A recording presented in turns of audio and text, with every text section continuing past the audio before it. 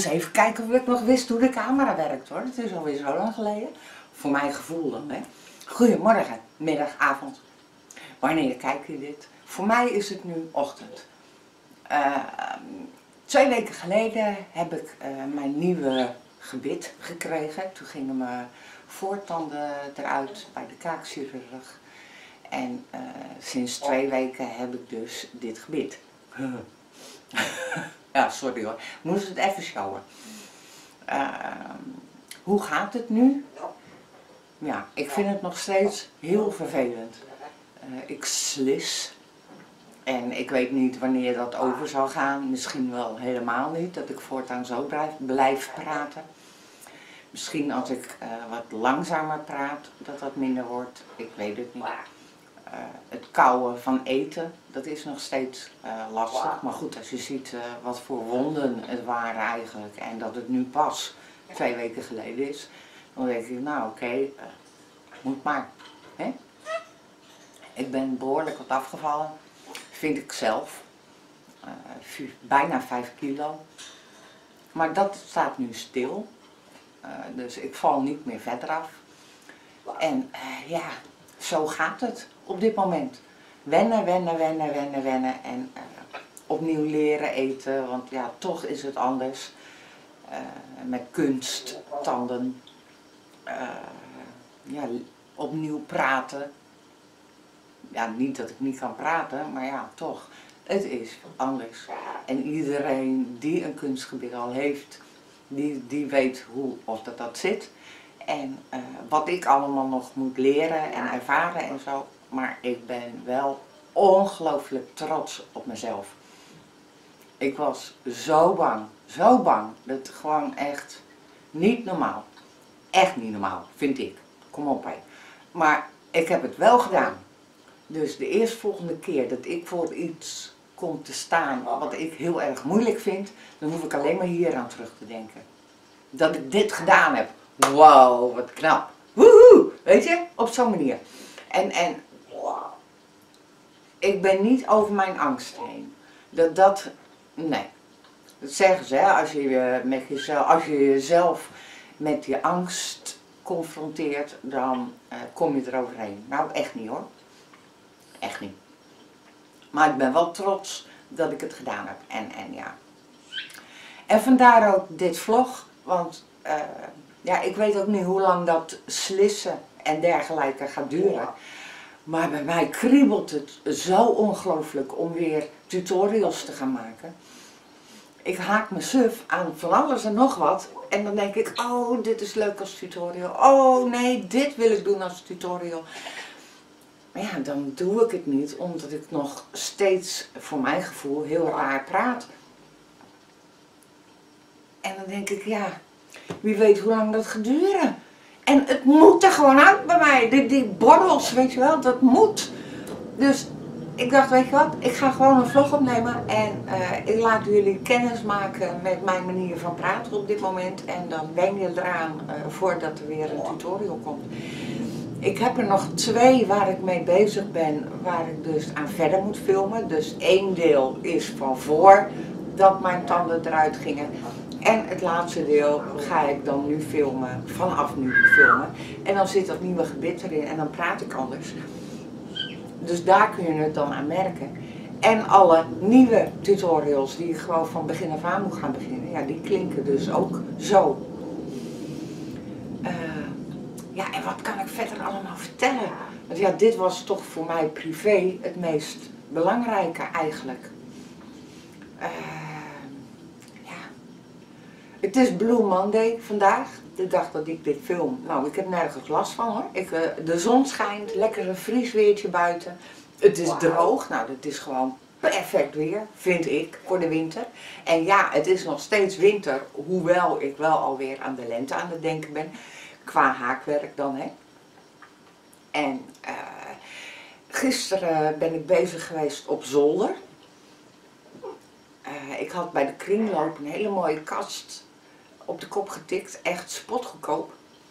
Echt met, met vier van die uh, vakken erin en uh, schitterend. Dus daar ben ik gisteren bezig geweest, hartstikke leuk. En de temperatuur was daar ook weer aangenaam. De zolder bij ons is altijd heel koud. Er is wel één verwarmingselement, maar ja, dat, dat is niet echt om over een huis te schrijven. Dus ja, heel de winter zit ik eigenlijk al beneden. Vind ik niet erg, want het is beneden ook gezellig. Maar ja, boven heb ik mijn, eigen bol om me heen. En mijn, mijn hangstoel, ik wel, die ei, dat ei. Ook lekker in bubbelen. Heerlijk. Ja, dus dat heb ik gisteren gedaan. En uh, ik ben restjes wol aan het uitzoeken. Ik kreeg een mailtje van iemand die uh, heeft een hele haakclub die kleine dingen haken voor het goede doel. En daarmee uh, bedoel ik dat ze die kleine dingen, die verkopen ze. En met de opbrengst daarvan haken ze spullen voor uh, mensen met kanker. En ja, dat vind ik zo geweldig. Je weet, KWF, dat heeft mijn hart. En ik ben nu dus restjes aan de bij elkaar verzamelen, waar zij dan weer kleine dingetjes van kunnen maken. Zodat het verkocht gaat worden. Uh, als ik het goed herinner. Wacht, ik, ik kan het er wel bij pakken. Dat is dan nog makkelijker, hè? Dan uh,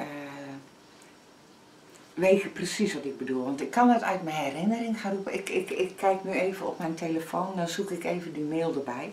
Maar mijn telefoon is niet zo heel snel. Dus dan moet je even geduld hebben. Maar dan kan ik je precies vertellen over wie, wat, waar en hoe. Uh, inbox.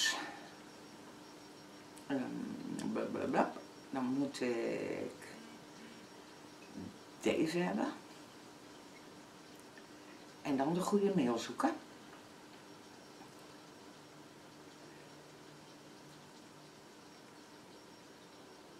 Het is van Roos van Dongen. Ik mag gerust jouw naam noemen, dat weet ik zeker. En uh, ik denk dat je wel contact met haar mag opnemen. Roos van Dongen. Uh, even kijken hoor.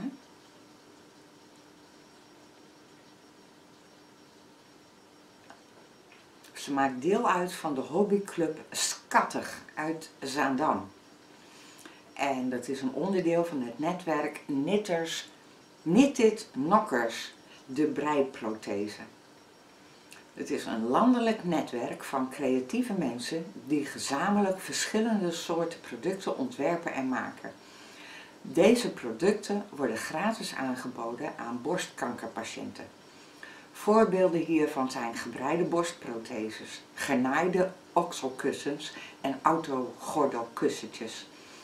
Ook maken wij in samenwerking met verschillende ziekenhuizen op maat gemaakte draintasjes deze worden aangeboden aan patiënten die voor langere tijd met een drain moeten lopen.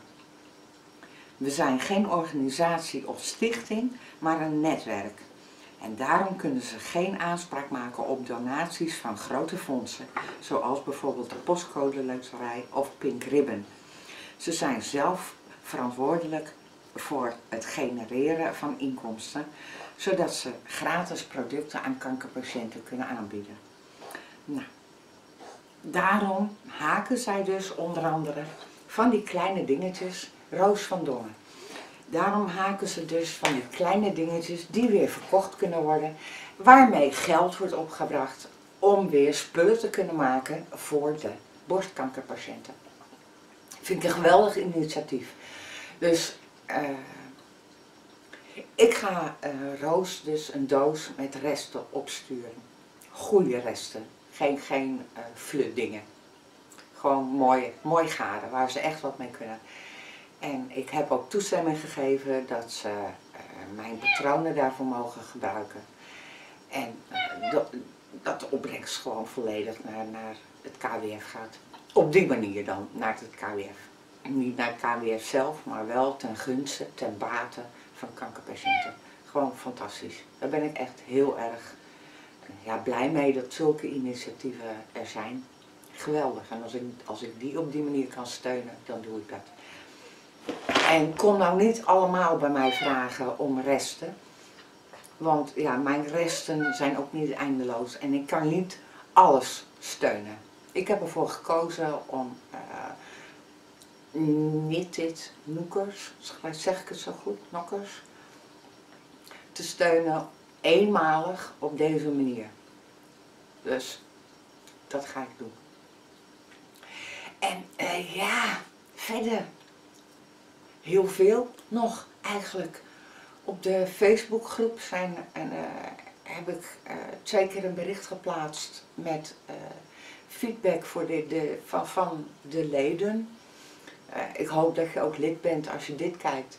Dat je ook lid bent van mijn Facebookgroep. Hartstikke leuk, hartstikke gezellig. En aan de hand van, van de inbreng van de leden hebben we ons reglement, groepsreglement, aangepast. En ik denk dat die veel vriendelijker is. Veel toegankelijker, waardoor je minder angst hoeft te hebben om een foutje te maken en van de groep gegooid te worden. Want dat van de groep gooien, dat gebeurt eigenlijk alleen nog maar in echte uitzonderingsgevallen. Echt uitzonderingsgevallen.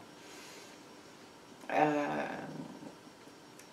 als je, het enige wat, ik, wat niet mag, want daar kun je mij persoonlijk mee schaden, mij persoonlijk, zijn patronen delen. Op welke manier dan ook. Dat mag gewoon niet. Doe je dat toch, of het nou per ongeluk is of bewust, dan word je zeven dagen gedempt. En dat betekent dat je zeven dagen lang wel kunt meelezen, maar verder niet. Je kunt niet actief deelnemen. Dat, je wordt niet meer van de groep gegooid, dat je niet meer terug mag komen en zo. Dat niet meer. Na zeven dagen kun je weer gewoon meedoen. En verder, ja, doe je iets niet goed, maak je niet druk.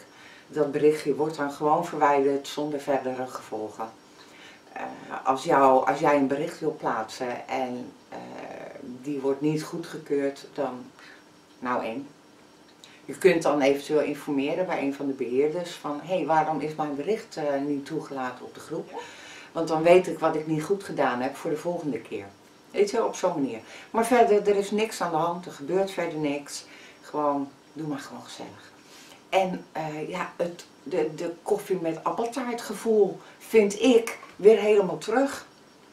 Gewoon gezellig, thee met, met, met stroopwafel, weet wel. Even lekker warm laten worden op je kopje bekers ook allemaal met slagroom, speculatie bij. Dat, dat gevoel, weet je wel, gewoon gezellig. Het gezellige gevoel vind ik weer terug. En, en ja, dat is de bedoeling. Het, het share and enjoy gevoel op de groep. Dat, dat, uh, ja, dat, dat is mijn bedoeling met de groep. Gewoon gezellig elkaar stimuleren, motiveren, inspireren. En gewoon even, en als je een knuffel nodig hebt, dan kan dat. En, en uh, ben je hartstikke blij, dan mag je dat ook delen. En graag. Heel erg leuk. Doet je huisdier iets geks? Bedoel, ik heb zelf vijf katten, een papegaai en een aquarium. Dus ik weet hoe je van je dieren houdt. Dat mag je gerust delen. Alleen ja, zulke berichten worden wel na één dag verwijderd. Gewoon om het overzichtelijk te houden. De haakberichten blijven veel langer staan. Het is niet meer dat na vijf dagen uh, alles weggehaald wordt. We zijn, ik, ik, ik doe dat zelf. Ik ben daar verantwoordelijk voor. Dat is, ik ben weer beheerder. En uh, ik heb onder mijn verantwoording dat, uh, het opruimen van de groep van de haakberichten. En uh, ik ben dat aan het uitproberen van hoe lang kunnen we haakberichten laten staan zonder dat Facebook echt vast gaat lopen. En worden die nog bekeken, die hele oude haakberichten, noem maar op. Daar ben ik, daar ben ik aan het uitzoeken. En doordat ik niet filmde, had ik daar natuurlijk tijd genoeg voor. Hè? En uh, ja, je ziet me ook inderdaad vaker aanwezig op de groep. Ik was er altijd wel, maar je zag me nooit zo. En ik probeer weer meer zichtbaar op de groep aanwezig te zijn. En ik vind het ontzettend leuk. Echt ontzettend leuk. Uh, door te reageren op berichtjes, uh, door zelf berichten te plaatsen. En ja, gewoon weer wat actiever zijn. Dat lukt me ook weer. Jullie weten, ik heb die burn-out gehad en uh, tijdens de burn-out kreeg Wiebe kanker. En nou ja, dat hielp allemaal niet mee.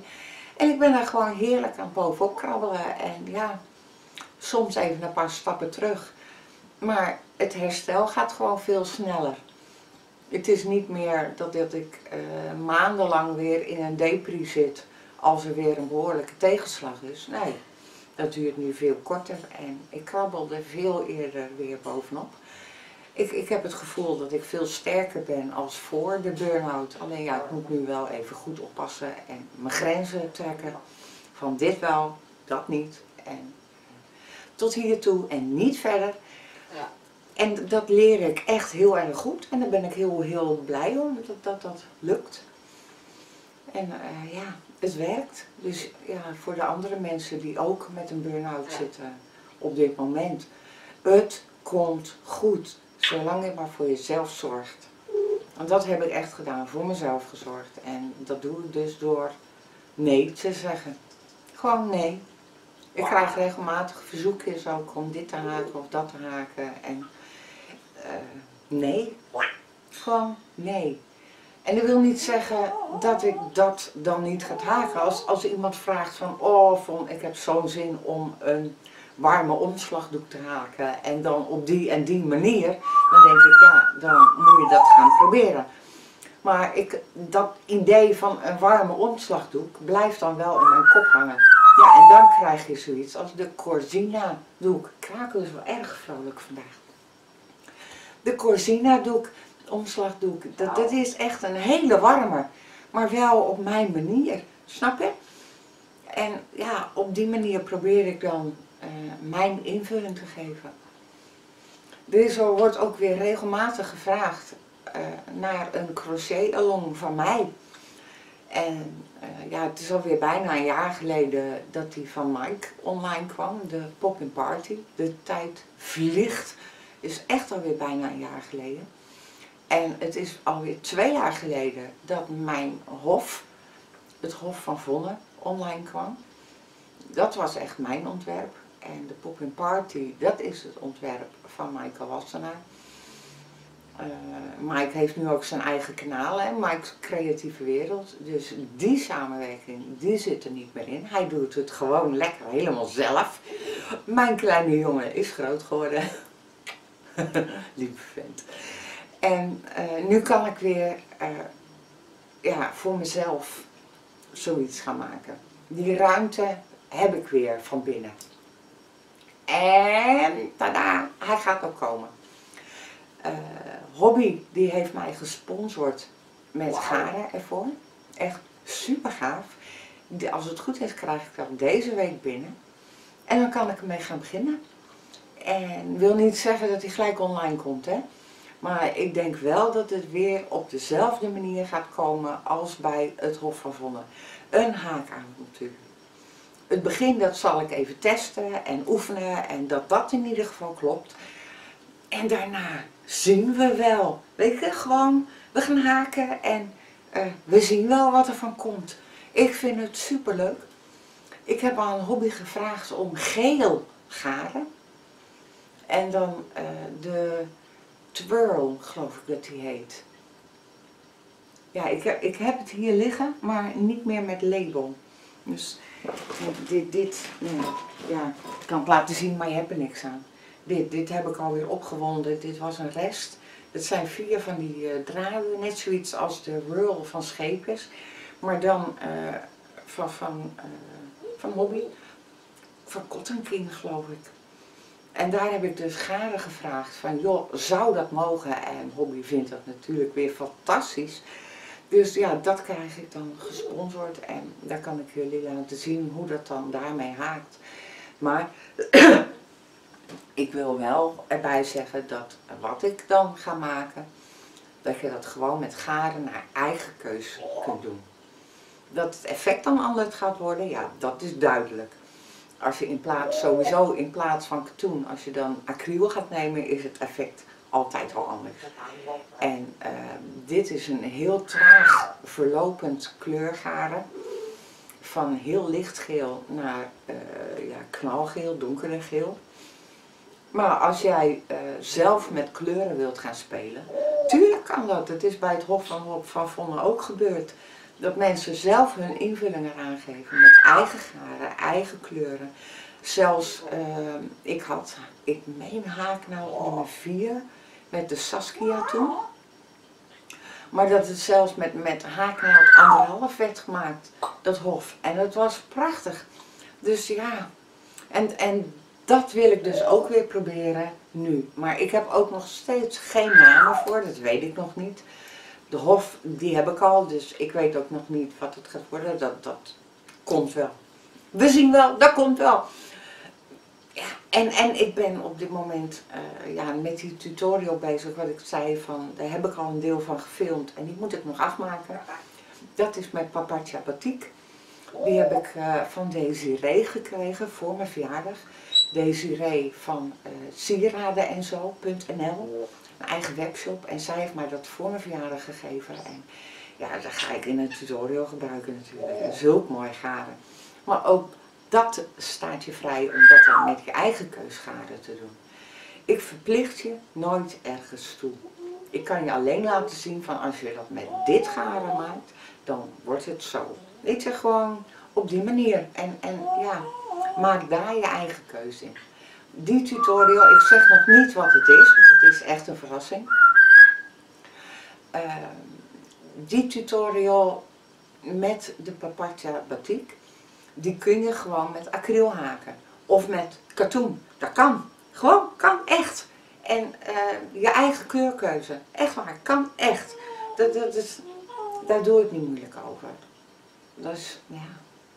Dat, en, en ja, ik wil daar dolgraag mee verder. En, en uh, dat ga ik ook echt doen. Die, daar ga ik binnenkort mee verder filmen. En ik ben met een review bezig voor hobby. En uh, ook daar ga ik mee verder. En uh, ja, ik ben weer helemaal, uh, ja, ik ben weer helemaal volle. En, en ja, ik, ik hoop dat we weer gaan genieten van heel veel tutorials. En ja, vlogs en zo. En unboxings en zo. Er zijn een aantal mensen die vinden die unboxingfilms niet leuk.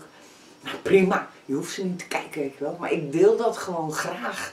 Net als uh, de ILA-boxen die ik dan koop. Want dat, is, dat heb ik gewoon zelf een abonnement op. En uh, ik maak zelf die, die, die unboxings. Dat doe ik niet in opdracht van ILA. Ik word daar niet betaald door van ILA. Maar ik vind het gewoon zo'n fantastische ervaring om, om die box open te maken. Gewoon sowieso, hè? het wachten al. Van ik weet gewoon, de 28ste van iedere maand wordt die verzonden. En ik zit alweer te wachten. Het is vandaag de 21ste.